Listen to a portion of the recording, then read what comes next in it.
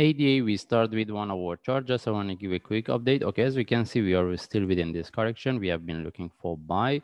And even if you refer to our analysis, we mentioned if we get any sharp move with the flag, we can look for buy. We get the sharp move, but whatever we have here, it doesn't give us any good trade setup.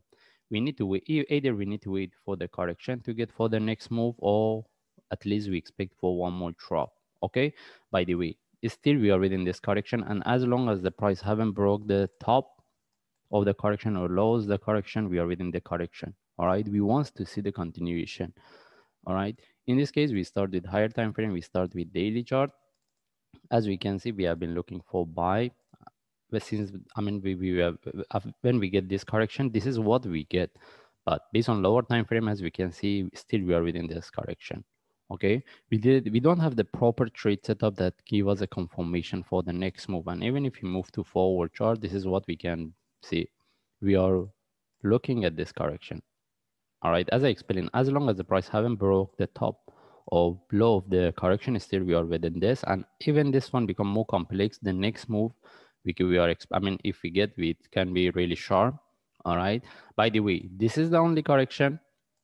And after that any buy setup we can expect the price continue and break the previous top or still this one can give us one move up become more then the price may drop to one before we get the next move. It depends how complex can be. All right. That's why if you want to look for buy, even I mentioned any buy within this correction, we need to see if there is no continuation, we don't stay with the trade. Maybe this one can turn to more complex correction. By the way, we're looking for buy, but we don't have any proper try buy setup. All right. Even if here we get the sharp move, but still we are within this correction. And as I mentioned, based on one hour chart, if you want to look for buy, the best things is if we get one more drop. The reason is we mentioned we get one more drop because at that time within this range, as long as the price haven't broke this top, we can expect to get the proper trade setup. Because even if there is a continuation from here, we need to get the sharp move like, or we can have entry above this correction. All right. It doesn't mean the price cannot continue from here. The only thing is we should get the trade setup that confirm the next move can break this correction and give us a continuation, all right? Rather than that, if we see any trade setup which is not moving, we don't go with the trade because mostly it cannot continue because still we are within this within the correction. As I, as we can see here, we get the sharp move, but whatever we have here, it doesn't give us any good trade setup. Now, how we can trade it?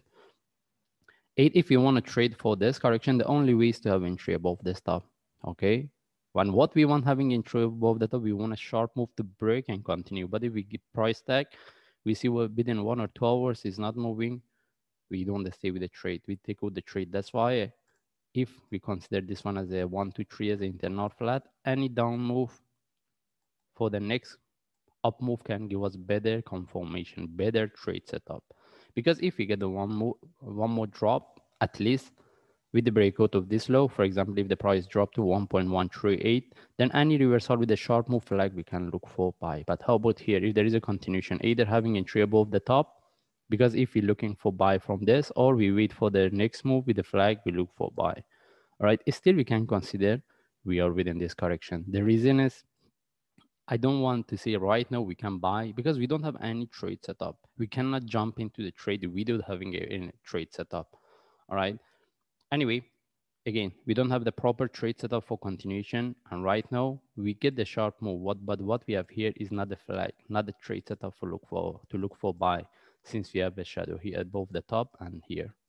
And as I mentioned, the only way to trade if there is a continuation, either having a trade above the top, if you want to trade this flag correction, or we wait for the next move with the flag.